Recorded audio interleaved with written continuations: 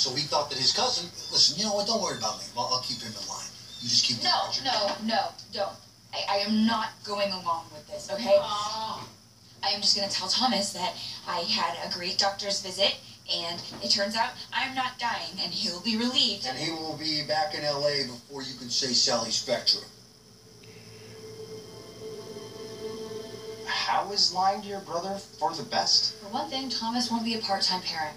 He's not living thousands of miles away. He will actually be there for his son. He's able to play with him and tuck him in at night. All things that I never had from my biological father growing up. And look at me, I've only murdered like eight people.